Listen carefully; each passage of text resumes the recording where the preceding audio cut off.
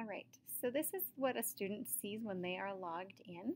Um, they can see their name, they can see their activity level that kind of tracks what they've done. If they click on assignments, this is where they're going to see books that the teacher has assigned specifically for them to read. Um, so I'm going to flip over to the teacher view. Um, and if you look right here, Shar, you can see I have a list of students here, um, kind of in the background. And over on the right-hand side, I have these little dots. If I click on the little menu dots, it's going to give me the option to enable home access. And when I do that, it asks me to put in the parent email account. So I'm going to put in the parent email account and click Create Home Account. What that's going to do is send a parent an email from Epic saying that you are being at, uh, given the opportunity to subscribe and have those accounts linked.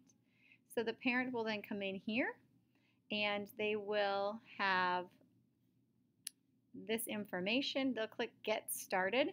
And at that point, the parent is going to need to make a choice. Do they want to do the free account? Do they want to do a paid account or just the trial?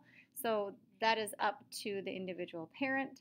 And then once they're logged in, this is what their screen is going to look like.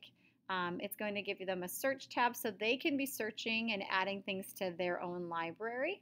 But if they click on dashboard, they're going to see your their child and they're going to see how many books they've finished. And when they click on the child's name or view activity, they're going to see this exact same profile that would be on the student iPad at school. So they can see the activity, how long they've been reading, how many pages that have been flipped.